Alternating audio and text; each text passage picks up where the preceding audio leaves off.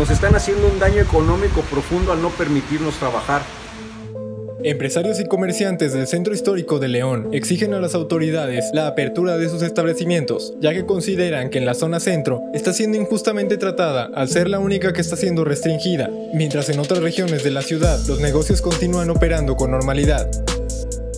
Desde el pasado 2 de abril, agentes de la Secretaría de Seguridad Pública de León delimitan el acceso a la zona peatonal de la ciudad para evitar aglomeraciones e intentar así evitar posibles contagios de coronavirus.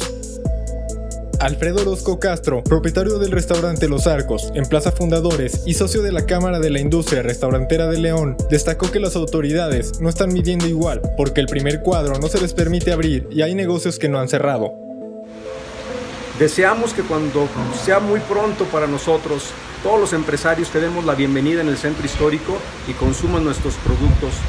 Almuerzos y comidas del portal, junto con sus trabajadores, está anhelando el día que vengas a consumir otra vez sus platillos y nosotros te podamos atender como siempre te hemos atendido 35 años en la zona centro.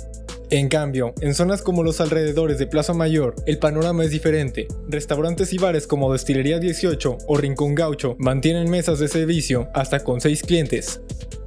Cerca de Plaza Hidalgo, dos bares operan con habitualidad. En zonas como el Cuecillo, la situación es similar. Tiendas de mascotas, bares y venta de insumos para fabricar calzado continúan sus operaciones, por lo que el apego a las medidas para frenar la pandemia es a medias y dispareja.